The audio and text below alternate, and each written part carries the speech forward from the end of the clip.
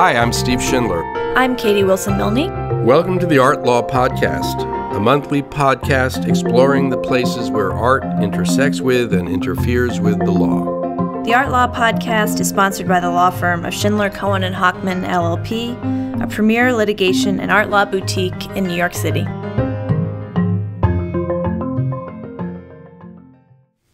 Hi, Katie. Hi, Steve. How are you? I'm okay. How are you? How was your New Year? It's going well so far. It's Yeah. flying by. um, and we are back to talk about NFTs and the blockchain and Our whether favorite, it makes any sense at all. Um, our favorite topic, and Yes. uh, we're we're here to be educated by our guest uh, Amy Whitaker. Amy is an associate professor of visual arts administration at NYU's Steinhardt School. She's a beloved teacher there and a prolific writer and thinker who has focused on the relationship between art and markets and on the impact that emerging technologies are having on the art market. She is particularly qualified to do that because she not only holds a BA from Williams College with honors in political science and art, but she also has received an MFA in painting, an MBA, and a PhD in political economy. Amy has authored numerous articles, and her bio can be found in the notes to this episode, and is about to publish her fourth book, The Story of NFTs Art, Technology, and Democracy, uh, with her co author, Nora Burnett Abrams, be coming out in March by Rizzoli. And so we're pleased to have Amy with us today to discuss her new book and the impact that NFTs and blockchain are having on the art market and its various participants. Welcome to the podcast, Amy. Thanks so much for having me. A big fan of the podcast. Well, we love that. starting out on a good note. All right. So, Amy, why don't we start by just uh, having you tell us how you got interested in the topic and, and what made you write a book? Definitely. The short version of the long story is that in 2012, a social practice artist I know, Caroline Woolard, convened a group of artists to talk about what property meant for artists. I ended up writing about resale royalties as property rights. We always joked that we wrote a book so that we could stop meeting two years later. But, and then around that time in 2014, I was introduced to someone who had just started a blockchain company. So I became interested in blockchain as a way of registering property rights, uh, ownership, not just licensing. And then fast forward to the recent post Beeple sale NFT phenomenon. Uh, Nora Burnett Abrams, a wonderful colleague who's a curator by background and the director of the Museum of Contemporary Art in Denver, asked me to do a public program, um, NFTs WTF, the usual meaning, plus what's the frame art historically. We did that in April of 2021, and then we got the band back together for a four part series putting the fun in non fungible tokens. and that really, even at the time when we were working on the whiteboard in Nora's office in Denver, it started to seem like a book. And so we were really lucky to partner with Rizzoli, which co published the book with MCA Denver, to create what's meant to be a foundational text for people who are curious about NFTs, who might find the current conversation about them either insufferable or impenetrable or both. Really, not to say you should think these are interesting, but hey, there's a lot that's possible here and we should talk about it. And it's really an invitation for the smartest people, you know, in any part of the arts or anyone in any part of the arts to join the conversation. Great. And you said you sort of got interested in this in 2014. That seems like the dawn of blockchain. I mean, look, tell me, like, sort of when these issues started cropping up, both in the art world and for you academically.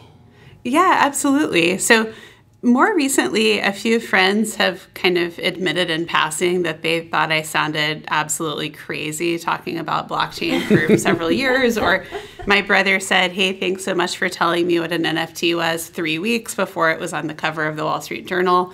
Um, for me, this is a really long standing interest in the intersection of art and economics or business and what it is for artists to have a sustainable livelihood. And I think that the intersection of art and business is always political in the small p sense of one's personal politics and the large p sense of public funding for the arts and the role of art in society. So for me, I've thought about this for a long time. I used to teach business to fellow classmates when I was doing an MFA in painting at the Slade. And I've always you know, felt that we could talk more structurally about economics as a design medium in the arts. Not artists are motivated by profit. What's the marginal product of a work of art? But it's very difficult to be an artist. It's economically precarious. There's great dignity in the generosity position of art, of trying things out, of putting them into the world before you get something back. And so I just became very interested in whether it was possible to think economically in a creative and structural way, almost in an ethical way. And that's where I thought blockchain was so interesting. Not the cryptocurrency story and the you know, money story and the ascendant prices necessarily, but just structurally, blockchain is a registry of information. Mm-hmm. And for our listeners, could you just define blockchain and NFTs before we go on any further so we're sort of all on the same page about what we're talking about? Definitely. So sit, get comfortable. This will just take 55 minutes. Um, and the podcast will be over. uh, so, blockchain you can think of as a database structure. David Yermack, the chair of the finance department at Stern, who's taught a class for a long time, tells his students it's the most radical new structure since double entry accounting. I think that a basic working definition is that blockchain is a public append only bulletin board. It's a ledger where you can record information in time stamped sequence in ways that are cryptographically secure, belt and suspenders secure, so that you can trust information without trusting a central authority to keep the files. So it's like a bank record with no bank a transcript with no registrar at the university. It's this fundamental inversion of a society that's based on centralized authority. Now, I happen to like centralized authority. I believe in democracy and the rule of law and many places where I trust experts, but blockchain itself is a knowledge management system. And so in the late 1980s, there were two researchers at Bellcore, the equivalent of Bell Labs for the baby bells in Morristown, New Jersey, Stuart Haber and Scott Stornetta. And they started working on this question in the age of home computing and digital files.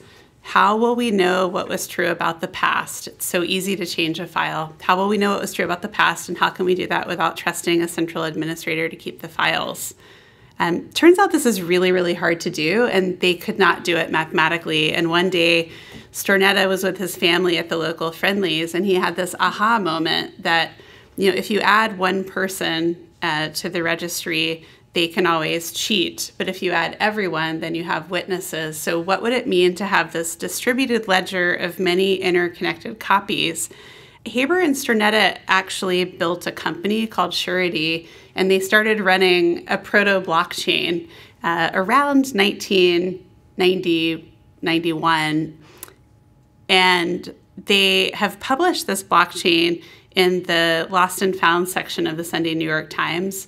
It turned 30 last fall, so I guess 1992. Right. And yeah, so and it's to, still being published, right? It's still being published, and to me, that's the knowledge story of blockchain. That they were really concerned with knowledge, and in this poetic way, how we'd know it was true about the past. They published a paper called "How to Timestamp a Digital Document" in 1991 that paper and some of their other work constitutes three out of eight of the total footnotes in Satoshi Nakamoto's Bitcoin white paper. Mm, they're really foundational. Can I just ask you one question? You know, you described it, uh, blockchain as part of your description was that it was an append only registry. And, and maybe just explain a little bit what that means because in my mind it sort of means like you can add things but you can't take things mm-hmm. away and you can't edit them which has some sort of negative sort of uh, connotations. But maybe just elaborate a little bit on this idea of append only. Yeah definitely. So i got that phrase from my colleague joseph Bonneau who's a computer scientist who taught co-taught the coursera course at princeton. That's really foundational if anyone is interested in the technological way of looking at this. But exactly as you say, Steve, append only, so you can add things, but you can't take them away. Now, I personally never make mistakes, especially in writing, but I, I know people and I'm very sympathetic. So, no, I'm obviously kidding. Right. Um, we could do another podcast on errors you spot in your own books before they go to press. But uh, exactly the point, right? Like, human beings are making mistakes all the time. So how does this work? There's a photo that Nora and I put in the book that's Haber and Stornetta the first time they got news coverage for this. They are mislabeled in the photo. And then in an early draft of the book, I mislabeled them again. And Nora's like, Amy, am I losing my mind or what's going on here? And there's a really famous example of a man called Terence Eden who listed himself on the Verisart blockchain as the creator of the Mona Lisa in 1506. Obviously, he didn't do that Yeah. for a number of reasons. But that will always be there. So, blockchain is an immutable record, but that doesn't divorce it from a sense of human trust and revision and repair. It just doesn't forget things the way a human being does, but you can go back and make notes and correct things. But it's really just a structure of managing knowledge. And then all of the cryptocurrencies were added by Satoshi Nakamoto and later developers of blockchain protocols in order to incentivize people to keep these many distributed copies of the ledger. And so, what are NFTs and how do they fit into the blockchain? So, an NFT, in its most narrow definition, is a non fungible token. So, blockchain we think of as starting in 2009 when Satoshi Nakamoto launched the Bitcoin blockchain. Vitalik Buterin and his collaborators launched the Ethereum blockchain several years later. And Ethereum is a much more modular programming standard. So it's programmed in tokens. And the tokens are named for the way that people agreed to have them become a programming standard. So ERC, Ethereum Request for Comment 20, is the first token, which is or the first main one, which is a fungible token. And there's some NFTs in the arts that are based on that. And then when we talk about NFTs, we're usually talking about an ERC 721 that is a non fungible token, so non interchangeable. The way I think about this in the arts is that an NFT is a lot like a certificate of authenticity for a Sol LeWitt wall drawing, where I can have the wall drawing on my wall, but if I sell it to Katie and transfer the certificate, my drawing is no longer a LeWitt, and she owns the LeWitt whether she has it put on the wall or not.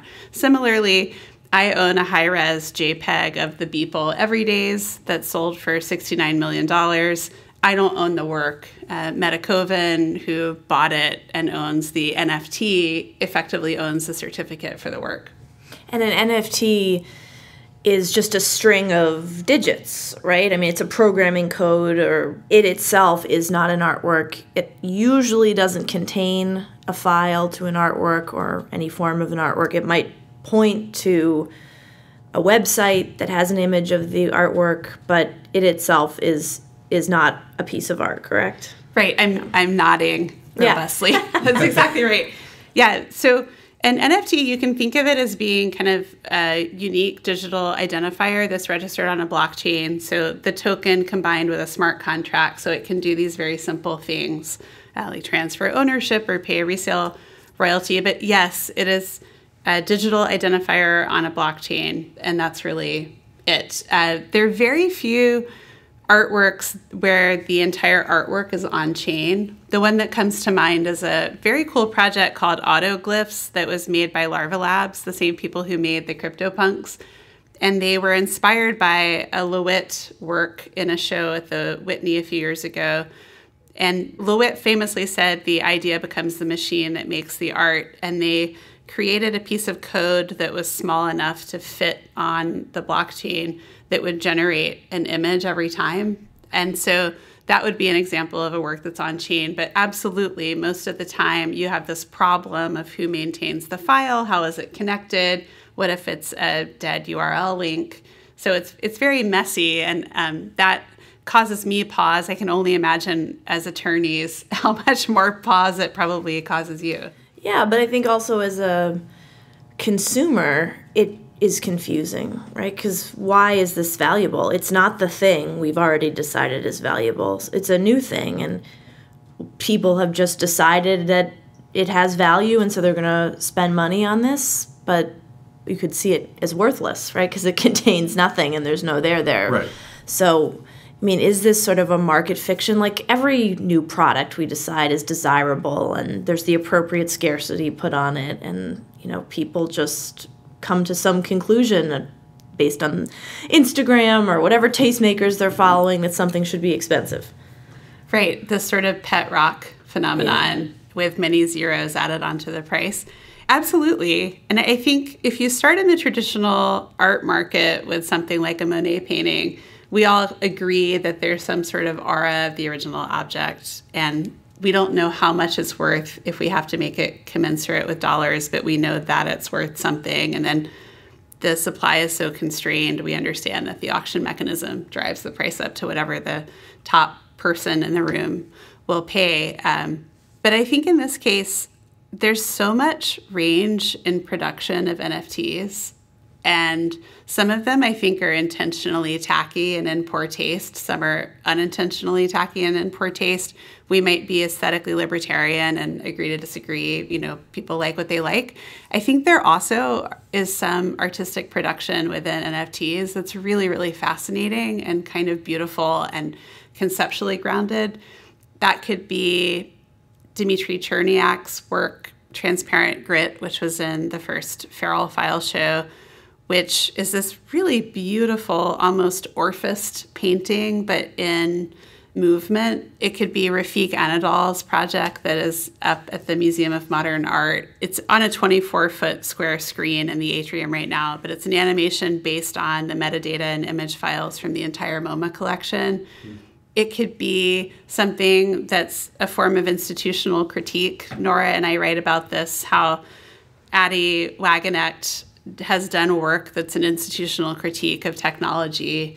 Um, and she's an artist who works for some of the blockchain protocol companies like Algorand in addition to having an artistic practice. And she makes, just as one example of many, um, she's on the cover of our book too, but she makes fake face mask beauty tutorial videos that are really about password security. And she's able to change the metadata so they're searchable for people looking for face masks. And she's wearing a face mask and she's like, you know, we need to talk about passphrases because she feels that people who are an audience for those videos among her friends are people who most need that protection that's a little similar to some of Andrea Fraser's early work, like her, you know, gallery highlights tours where she shows the staircase and the fire extinguisher. So I think there's a lot of really conceptually engaged work and some work that echoes these anti-market themes of early LeWitt projects. But Amy, are you just describing like digital or video art? I mean, what I don't hear you describing an NFT. I hear you describing interesting digital or electronic projects that artists are engaging in, but why is the NFT relevant at all to that value? The core thing that the NFT does, and I'm glad you asked me that, is that it creates digital scarcity. It creates the possibility of having one copy or a controlled number of editioned copies of a digital work that would otherwise exist in infinitely replicable form. Right. They do exist in infinitely replicable form, but there are only some that are attached to an NFT. Right. Is that? I think the Sol LeWitt analogy is a good one. I think of Dan Flavin as well. His estate, you know, will they never issue a second certificate of authenticity. There's only one. So with the certificate, you have a work of art that's worth hundreds of thousands of dollars, perhaps, and without it, you have five light bulbs and a fixture that's worth 30 bucks. And so anyone can make the light bulb and the fixture, but only one person can own the uh, certificate and the original work. And, and I guess that's very similar in the digital sort of realm. Yeah, yeah. Except that the Sol LeWitt can be like the digital artwork can be made over and over and over again, whereas like the certificate presumably is worth less if the light bulbs disappear? No, actually not, because actually the Flavin estate will will replace the light bulbs. They replace have a stock of them. Yeah. They will replace the physical objects. They will never replace a yeah, certificate. So yeah, it's really very important to keep Yeah. the certificate in a safe place, and I, I imagine that's probably true with an NFT as well, which makes me nervous because my brief, you know, experience with trying to maintain a wallet for Ethereum is, oh my gosh, you know, how am I ever going to sort of make sure that I don't lose the very long password connected with this? I mean, I lose my password. I forget my passwords all the time to everything. So it does seem like if you had millions of dollars stored in a wallet, it could be risky. Well, Amy, before we get too far down the rabbit hole, um, tell us a little bit more about the book, the structure of the book, sort of the thesis of the book, and then we'll Yeah. dive deeper into these. I would I would love to do that. I would also love to underscore exactly what you both just said.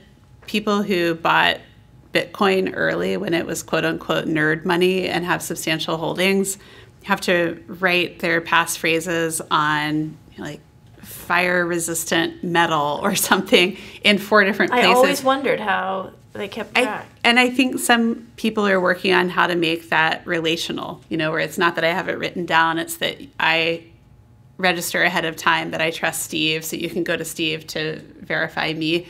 But it's really fascinating, and I think the Dan Flavin case is such an interesting comparison. So the book that Nora and I wrote, it has four core sections: artists and making, collectors and buying, and future states, and then an introductory section that is really the framing of the book, which is the intersecting stories of blockchain. And this kind of surfaced organically for both of us at the same time. We were figuring out what to call the book, and we were like, this book is really about a set of stories. So you can think of a Venn diagram that's all these different kinds of stories or lenses onto blockchain. There's a cryptocurrency or money lens where we think about news stories about the price of Bitcoin. And there's an artwork lens where we think about how something made an auction record or why is this worth any money at all. The lenses that are emphasized in the book as more unexpected are the artist lens, how artists are using this to have a livelihood, whether through direct sales or through having resale royalties that then support them in the secondary market. And then the democracy lens, which is how blockchain has at least the potential to radically reshape power dynamics in the arts through resale royalties or fractional equity, through people creating organizational structures around that to pool resources to redistribute them what are called decentralized autonomous organizations or DAOs. So, this real question of how blockchain might be an economic architecture that reorients power to artists or reorients our sense of common shared public good. Maybe if we stick with that for a minute, I mean, this this whole idea of democratization kind of flows through your book. Maybe we should just take our listeners through it a little bit. I mean, one is the so-called resale royalty rights that are embedded in these so-called smart contracts, and that's now become a, a sort of feature of NFTs. And, and maybe just explain that a little bit, you know, for the beginning. Definitely. And please jump in. I'm mindful of being in the room with attorneys. Well, we want to be convinced. We're not, so we want to be convinced. So, t- yeah, take us through your democratization sort of thesis, because I and, and please tell me exactly how you're not convinced. Well, maybe we will be by the end. So, Uh, so I think many of your readers will know what a resale royalty is, which is an amount of money paid back to an artist when their work is resold in a secondary market.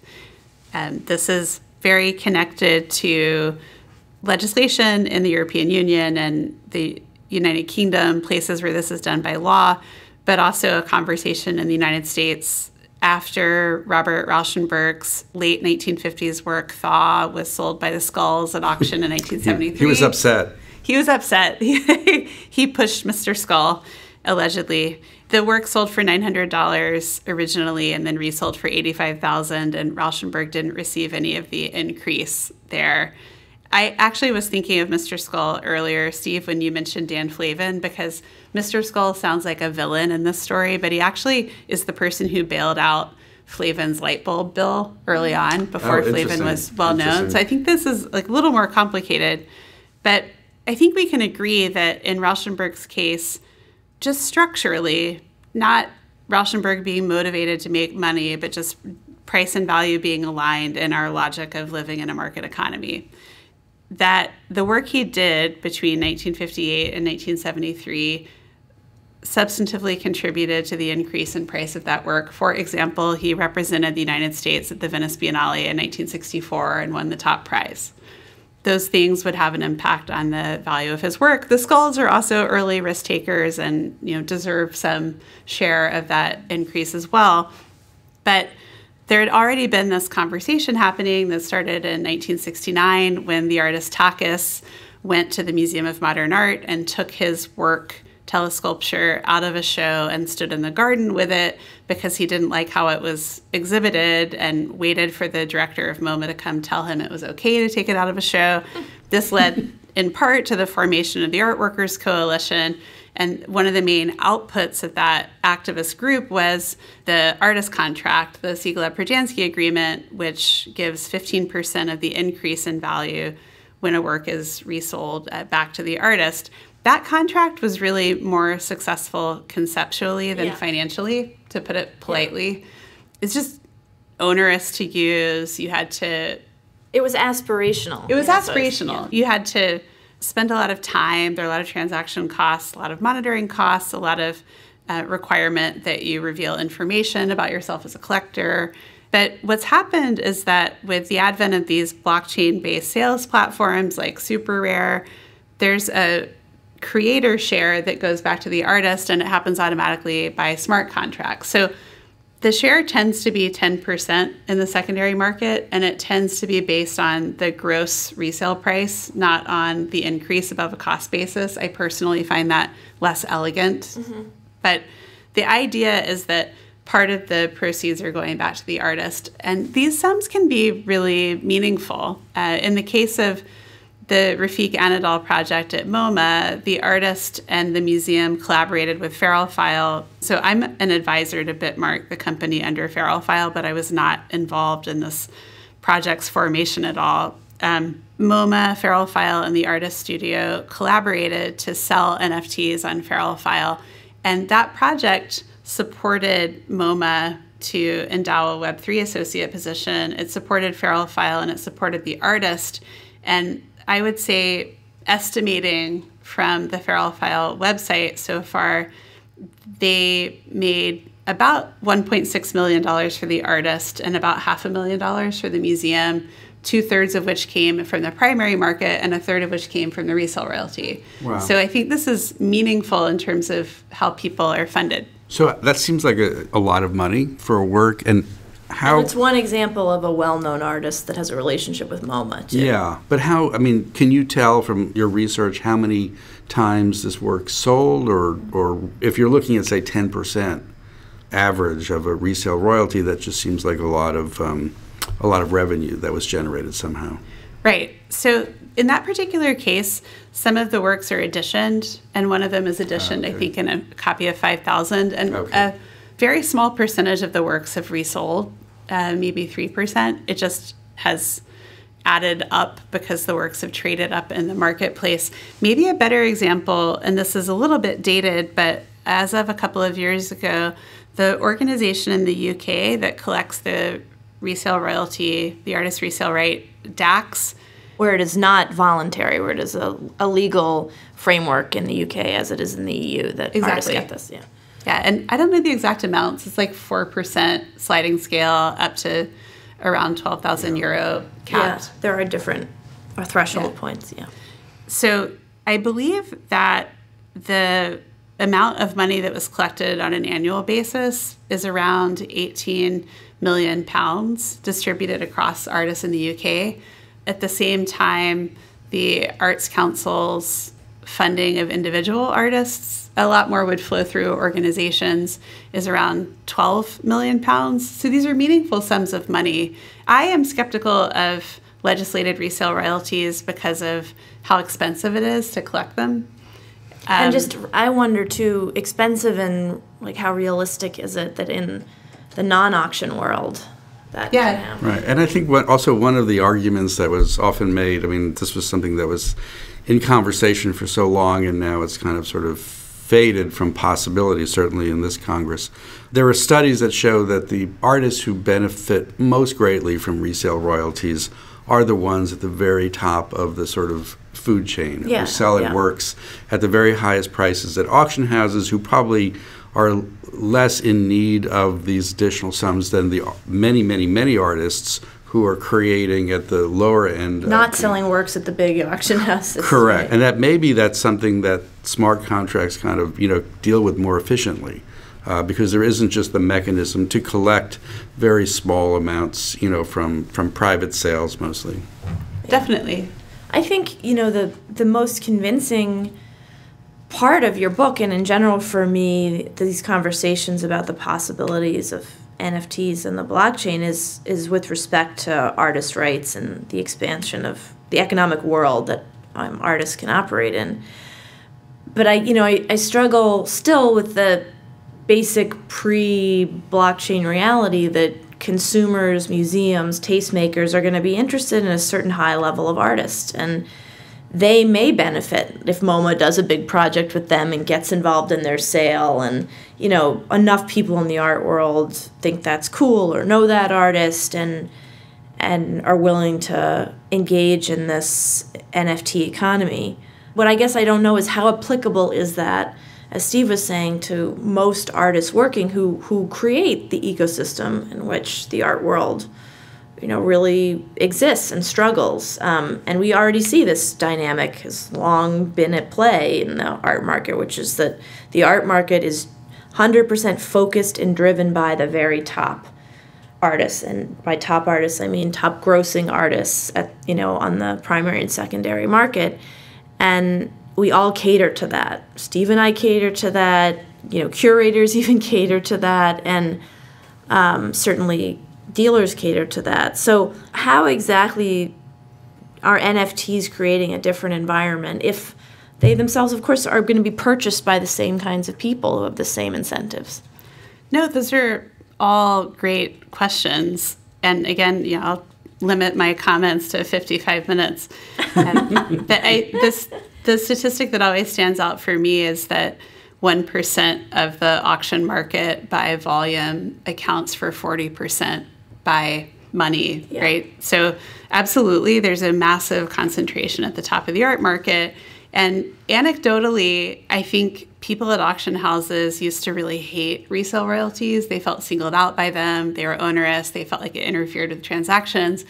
And also, I think anecdotally, people are starting to really like them and support them because it's more automated. It happens across a lot of different institutions. For me, uh, there are two things that really come together in my opinion about this.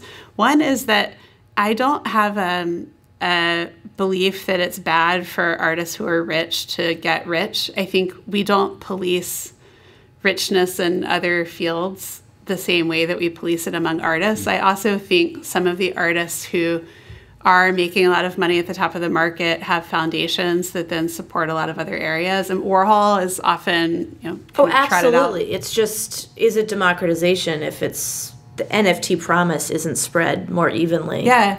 Well, so the two things I would say in response to that, and I'm so glad you asked that because I think that's such an important question. One, and I really cite the work of Lauren Van Haaften-Schick here. She's the expert in the Siegelaub Projansky agreement. When those conversations were originally happening after Takis took his work into the MoMA garden, there were a lot of more radical proposals than actually made it into the artist contract, and some of these were limited by the technology at the time. For example, generationally sharing proceeds from successful artists to emerging artists, or I think using principles of finance, you can imagine creating a portfolio where if all of us are artists, we pool our resale royalties and if I sell a work, I get 70% of the proceeds and 30% is shared across all of us. People do this in professional gambling. You can imagine a lot of Didn't Mutual Art try to do something like that? I, think mean, so. there have Yeah. been efforts, and Yeah. and actually they fell apart because they asked artists to contribute to the upkeep and storage of the work or the maintenance of these projects. But see, this is what I find so interesting is if you take something like Artist Pension Trust that fell apart because of storage fees, you can use resale royalties to mimic that structure without storage. So the research I do is on fractional equity in art as an alternative to resale royalties. So instead of the government saying, Steve, you get 10% when your work resells, when Steve is first selling work in the primary market, he sells it for 10% less and buys the equity in his work. And I model it this way mm. because I don't like listening mm. to some of the critiques about yeah. artists getting special welfare, quote unquote, or being a special class of creative workers. I see this as the resolution of a structural problem where artists are excluded from something like book royalties or entrepreneurial equity. Yeah. So that retained equity in your work is a property right. And it's a property right under the Coase theorem in economics. It has value and can be traded anytime. So you don't have to wait 20 years theoretically for your work to sell at auction you can pool those shares with other people to create a retirement fund for everyone the exact same way artist pension trust did but without the physical objects. There are a lot of details obviously. Yeah but that, that actually that's a um, that seems like a great idea. yeah and, and yeah but it's it's not a these are all contract ideas right? They're just creative contracting that would change market custom in an industry. Is it that the blockchain facilitates doing that in an easier way. It's not that blockchain makes it possible because we're talking about very traditional contracting principles right. here and property right principles, as you said, but it's that there's like a new mechanism to sort of make old law easier to implement. so the Coase theorem, this 1960 paper by Ronald Coase that won the Nobel Prize in economics, the idea of that is that let's take something like pollution, where you say this is the total amount of pollution we can have. We don't know how to price it, but we know that there are 10 shares of pollution.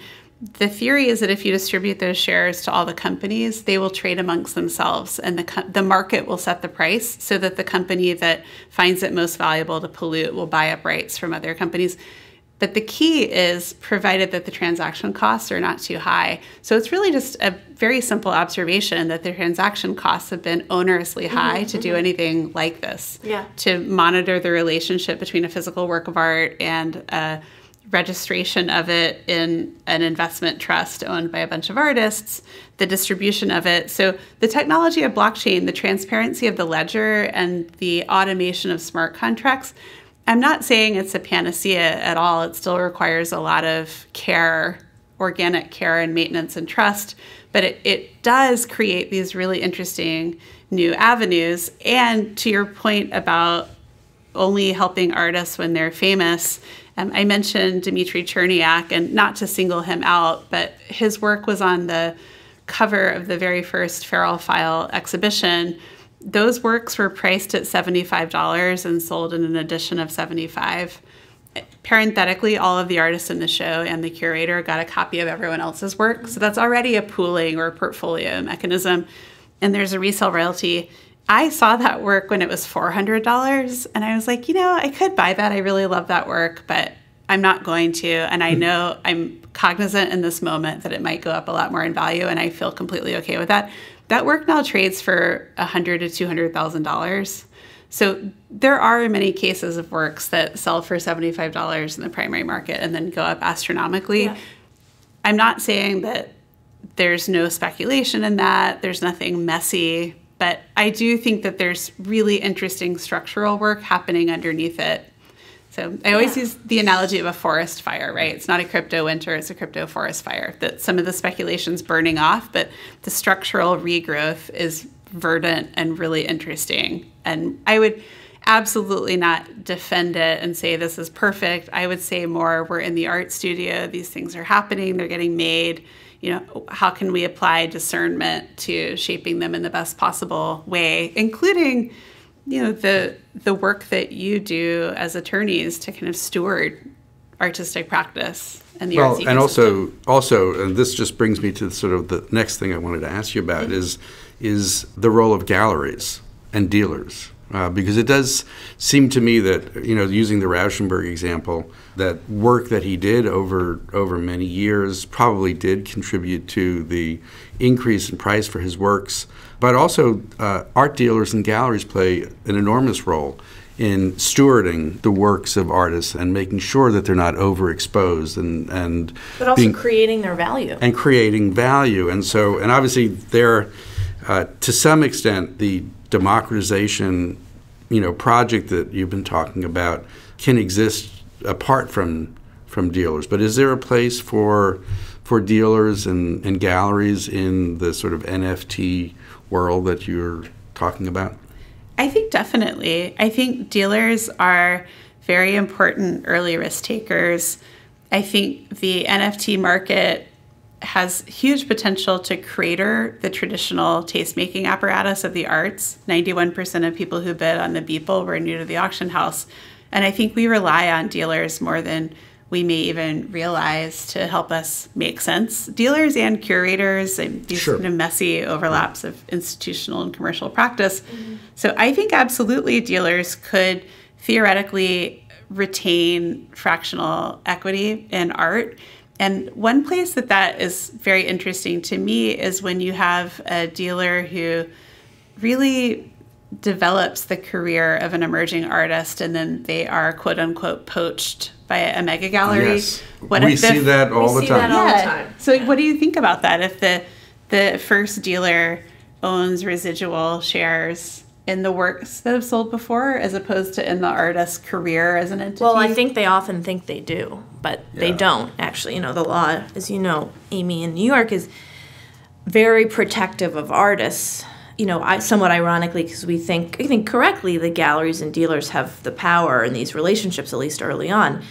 Actually, in the absence of contracts, at the end of the day, it is often more our typical client, a gallery or a dealer, that is left without what they think they're owed um, because Right. there's not a custom of putting the stuff in writing, which you know drives us crazy. um, that's still the case, even you know at very successful uh, galleries. And so it's a mess. It's continued to be a mess. It's an old-fashioned problem that has not found a solution. You know, we think contracts solve that problem. Clear representation agreements from the very beginning that lay out what happens at the end those for whatever reason although not expensive to do not hard to do feel awkward for people in the market still even again at the very high level. I don't know how bringing and of course we're not now we're not really talking about nfts we're just talking about some kind of smart contracting blockchain way that these market participants deal with each other a good lawyers need to be involved in the drafting those smart contracts. I've never worked on a representation agreement that wasn't negotiated so the mm-hmm. idea that everything could be automated without any specificity to the artist or relationship or you know how much money is being brought in then or you know the specifics of a deal seems hard to imagine but i can see that the market might welcome that in a way a contract negotiation back and forth on paper and paying a lawyer every time clearly isn't catching on But also, I think it creates a little bit of friction with the fiduciary duties that galleries owe to artists. And I think you'd have to sort of think through a little bit what it would mean to sort of carve out this kind of perpetual ownership or a kind of resale royalty for the gallery uh, that increases in value over time and how that just relates to the the obligation that the gallery has at all times to the artist. But it's it's an interesting thing to it sort of might think actually be a more aligned form of commission Yeah. Yeah, i no, think it, could would be. actually facilitate fiduciary obligations in a way that now Yeah. it's hard Well, certainly it would align their interests in a way, in Yeah, their future exactly. interests. Yeah. No, I mean, it's analogous to board members of a corporation owning shares. It solves that corporate governance fiduciary duty problem. But to me, what's so interesting about it, and I, I couldn't agree more, even though you have front row seats, that people think contracts are gauche in the arts. I think that what's really fascinating about this more holistically is that it shifts contracting from zero sum thinking to collaborative thinking, saying this is a form of value we are creating together. We don't know what it's worth yet. We're not talking in dollars, we're talking in fractions. You know, what would make sense here? And then it might be worth a lot later, but the idea is that you're making a commitment to create upside together and then that upside can be shared and it can be shared between the dealer and the artist, it can also be designated to charity or to other artists in the gallery. To me, it's a very interesting, creative form of structural thinking. Not I'm profit motivated, what's the maximum, this is mine, that's yours, but what are we building together and how can we share in that? This seems like a culture shift, though, rather than a you know something that's inherent in the blockchain or in NFTs. I mean, this is what we hope will just be a natural evolution of an industry that's grown up long ago and needs to catch up with some of its practices, um, and also think about things in a, a bigger ethical way, which is, could be really interesting. And Steve and I are very interested in this topic. I just don't know how the blockchain or NFTs, or, you know, factor into this particularly.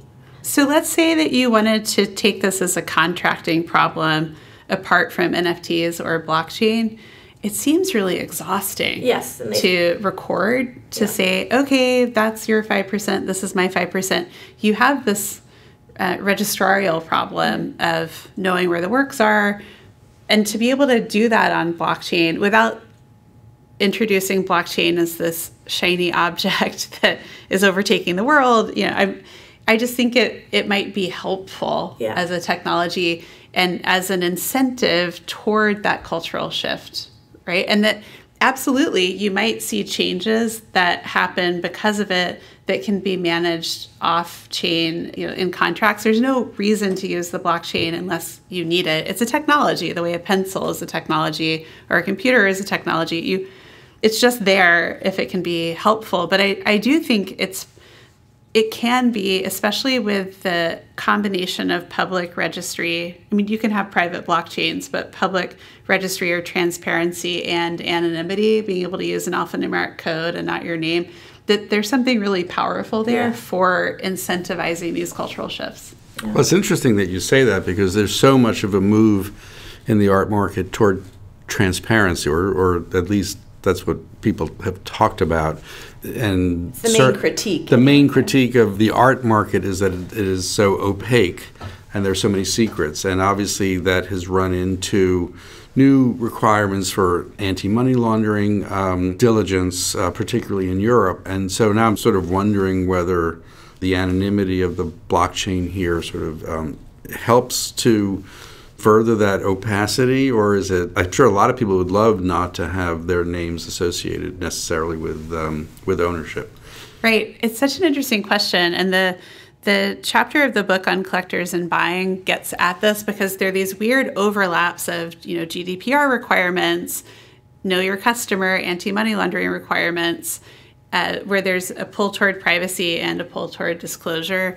Some of the cases that I find most interesting and not yet resolved are the ones where the technology of blockchain is a little ahead of the regulation. For example, I mentioned DAOs or decentralized autonomous organizations. Just think of it as a group of people who want to buy an artwork together and they want that to be the legal entity that buys it it's difficult to do that with an auction house because the auction house wants a single person to be the buyer so that there's a beneficial owner and then the beneficial owner mm-hmm. would have to secondarily transfer the work to the DAO, to the group.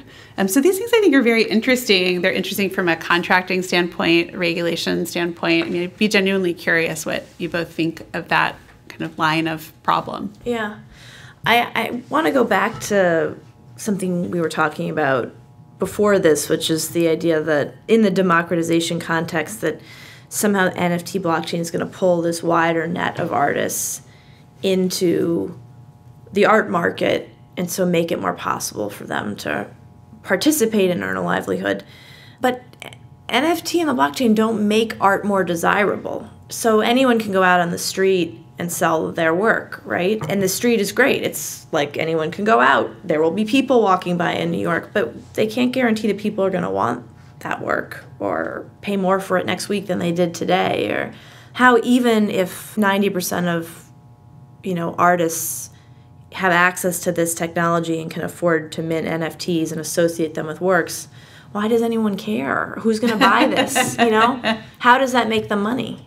No, that's a very fair question. And it's slightly different from selling art on the street, right? That on the street you have a limitation to the number of passersby. and in NFT world, you have a limitation to search who can find you. Absolutely. There's no reason anyone has to buy any of this. And NFT sales are not immune from questions of exclusion, differential pricing for men and women, kind of race, ethnicity. For example, the artist Dread Scott created a work called White Male for Sale, which was an NFT conceptually about fungibility of black male bodies during the slave trade. Um, Nora and I write about this, and Dred spoke in our program. That work didn't have an estimate when it sold at auction, although the kind of working estimate from a panel that Dr. Cheryl Finley hosted was, I think, $2 million, which is the lifetime earnings of a man in the United States. That work sold for $32,500. Or there's a black woman artist, Elise Swopes, who's one of the first artists on Instagram.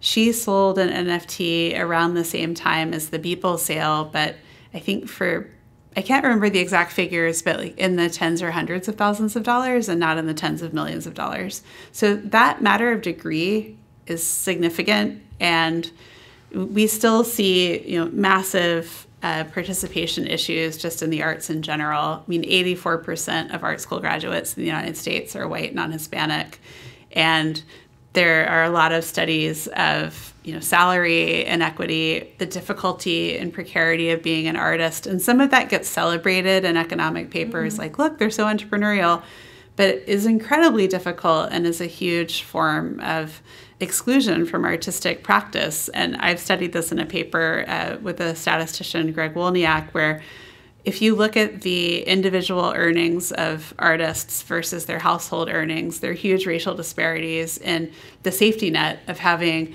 a larger percentage of household earnings For relative sure. to individual earnings. So, so I think that NFTs, there are a lot of hurdles, right? You have to pay to mint things, you have to be kind of have digital access, but also I think the the power shifts, even if they're nascent, they're quite interesting directionally. You know, the boat has turned a few degrees and we haven't seen where it's going yet, but the sense of possibility is is different from what it was. So I'd be the last person to say I have a crystal ball on what's going to happen. I just think it's it's interesting. It's so easy to criticize. There's so many worthy criticisms, and yet the paint isn't dry and yeah. it's moving. and so the thing I most want, and I think the project of the book is for people to feel invited to pull up a chair to the conversation. I mean, I genuinely want to know what people think, and I think these questions are really important. And I love that you're telling me what you disagree with because that you might convince me too. You know, the book is printed, but there, you know, we could. I, I don't think so, but yeah. yeah. Well, let me ask um, the technology that made blockchain and NFTs possible is so fast developing. It is so new, and it's not that that's stopping, right? The development of this technology in terms of how art can be displayed and traded and how money can move back and forth and how information can be ledgered uh, presumably will continue to change. So, how do we create a market that has longevity and value when the technology exists at a moment like frozen in time? And presumably the technology will change and the value of these NFTs presumably have some relationship to their ability to point to other links and works of art, you know, which they themselves are not, which might break or disassociate. Yeah, so I think it's a great reminder of the relationship between the market and the catalog raisonné registrarial side of artistic practice or art history, art historical practice. There are technologies like IPFS, these ways of logging an NFT in perpetuity. And now that may be flawed. There may be something that comes up that I haven't considered there. But norming culturally, making explicit in contracts, understanding the terms of service and different platforms of whose responsibility it is to steward that registration. That's a really big change from how people take care of traditional works of art. So, those things I think are incredibly important. And then watching the conversations toward interoperability of blockchain protocols and thinking constantly is what I'm looking at decentralized or recentralizing. Am I looking at something that's trying to embody the potential of blockchain to be decentralized, or am I looking at basically a centralized organization placed on top of a decentralized structure? There's nothing inherently wrong with that. If you have a Coinbase wallet, that's re-centralizing. But some of the platforms use common custodial wallets. You don't have your own wallet. Some of the platforms have slightly different terms of service in terms of whether you're you even own the NFT, you might own a license to the NFT. So I think including for people like you who have such longstanding and vast expertise in this to help all of us make sense of you know what's happening on different platforms or what the questions are and forming the best practice. And that comes partly from constantly trying to navigate this gulf of understanding the programming as a non-programmer, which is something I've mm-hmm. definitely been living right. for several years. I have a great deal of respect for you for that yeah. because I it's, mean, it's, it's, it's, really admirable. I have to say. Well, it's, but I think in reading a, the book. Well, it's like a it's a form of. I don't mean this to sound so grand, but it's like a form of intellectual integrity as a professor, just to say I don't know anything about that. I have no idea what you're talking about. I don't understand that. Or to know your limitations. it's like walking into a library and you're like, I'll never read all these books in my lifetime. And I wish I were a programmer. But also, in my experience, the people who are the very best programmers sound very gracious and curious and are patient when I have sounded like a third grader describing blockchain.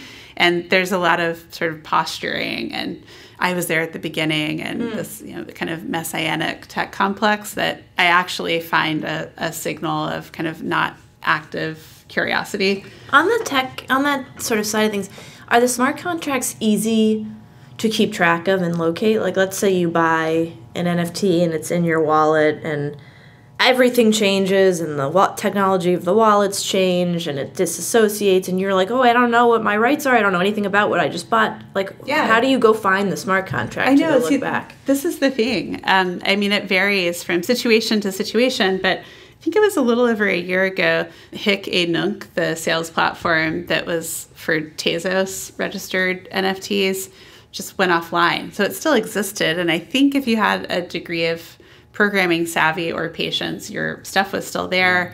But yeah, it's very weird. It's like a storefront can disappear and then come back. Um, so that's why I think this conversation about standards and best practice and interoperability. So if something's on a blockchain that then goes defunct, can it be ported over to another blockchain?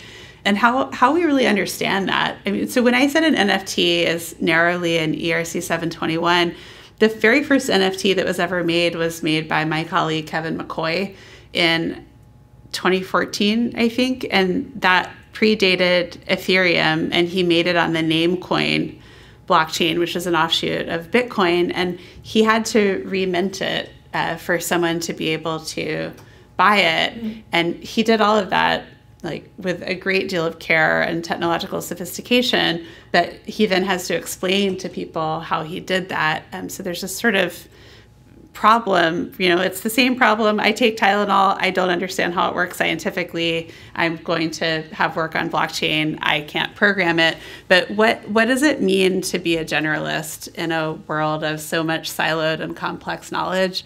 And you know what does it mean to figure out the relationship between the legal system and this new governance structure, especially to inform regulation that might be clunky and overarching in the wake of FTX right. and these other scandals, but that actually you know, it could be pretty interesting and, and nimble and sort of in everyone's interest. Right. I mean, just going back to the Dan Flavin example, uh, one of the ways I became acquainted with their practices is through a colleague who had lost a certificate. And there was a legal case about it, but I, you go back to there was a, a piece of paper, right? And while that technology isn't changing, you have to put it in a file. You have to put it somewhere. And then over time, maybe you misplace it. There's no way 100% to safeguard the location of, of something of value like that. And it's a similar problem, it seems, with wallets and, and NFTs. You you can you can lose them. It's yeah. possible, yeah. Uh, and there's no way to completely um, yeah. eliminate that. This is um, I, I, think there are a number of people working on this, but I know this from Sean Moss-Pultz, the founder of Bitmark, the company under Feral File, and I'm an advisor. I'm not trying to do a sales thing. I genuinely respect Sean and his colleagues. But they've been developing a wallet called Autonomy, and MoMA partners with them. You can download NFTs from a QR code on the wall of MoMA into an Autonomy wallet. But I think that technologically, what they're looking at is relational verification. So I think there's something poetic about this that the end game for a technology that's you know, quote unquote replacing trust is actually not me as a person who has something written down on paper at home, me doing that, but also me being able to ask someone for help if I lose my keys and they can vouch for me. So being in community that's technologically recorded, I think those things are very interesting answers. I also just want to say very sincerely that you are both attorneys I have admired and respected um, and enjoyed listening to for so long. And uh, Steve is a colleague of mine at NYU, and I once hosted a guest speaker um, when Steve was had a prior commitment for class, and the guest speakers, who will remain nameless, said I will always do anything that Steve asked me to do because he wrote the contract for me in the following way. So I think when you raise these questions about NFTs and blockchain, I really hear them because I, I can imagine how carefully you raise these questions for your your clients. And I hope that there are ways that you see in your practice um, and that all of us kind of coming together conversationally can figure out how to develop a kind of sophisticated or agile best practice that marries what I think are genuinely structurally new avenues of organization with, you know, a, a healthy sense of is this really you know the most exciting new thing or what what can we carry forward usefully from existing expertise?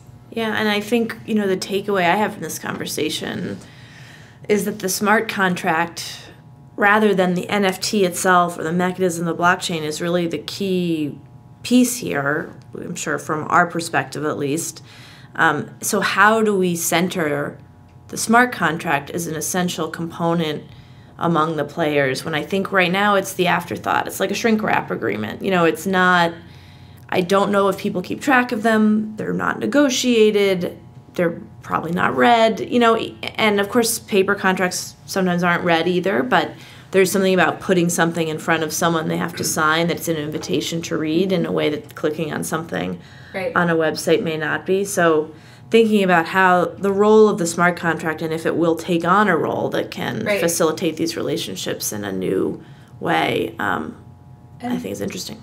Yeah, and I, I, think the possibility that legal practice can summarize terms in contracts so that they're readable without the summary uh, mm-hmm. replacing the contract, I think that that's a general issue in terms of service. I think also the arts are in the broader world a legacy industry that no one expects to come up with these radical structures that could be mm-hmm. helpful for everything. But I think the more that the arts plugs into larger conversations about contracting and smart contracts, like the Lawrence Lessig Code is Law conversations, the more we may realize that there are things that are developed in the arts that are actually helpful outside the arts because we have a long history of navigating things of value that are very hard to price, relationships that are very hard to contract, and that I genuinely think that there could be systems developed in the arts that are then useful beyond. And I and I think connecting this conversation to larger questions of contracting is very interesting. Thank you, Amy. Uh, this has been fascinating, and I love the idea of, in a way that, that you described your new book about an invitation to pull up a seat at the table to have the discussion. So, with that, just to remind our audience, the book is The Story of NFTs Art, Technology, and Democracy, uh, published by Rizzoli and MCA Denver. And it's coming out uh, in March. And, uh, we and we'll link to um, your other articles and work as well in our show notes so yeah. our readers can see some of the other topics you've talked about. This Thank was you. a lot of fun. Thank you, oh, Amy. such a pleasure. And um, Nora and I had a lot of fun writing that book. It's got some warmth and um, Nora's signature curatorial style. So please join us, join us on the page. And thank you so much for having me. It's really a pleasure. And that's it for today's podcast. Please subscribe to us wherever you get your podcasts and send us feedback at podcast at schlaw.com. And if you like what you hear, give us a five star rating. We are also featuring the original music of Chris Thompson. And finally, we want to thank our fabulous producer, Jackie Santos, for making us sound so good. Until next time, I'm Katie Wilson Milne. And I'm Steve Schindler, bringing you the Art Law Podcast, a podcast exploring the places where art intersects with and interferes with the law. The information provided in this podcast is not intended to be a source of legal advice.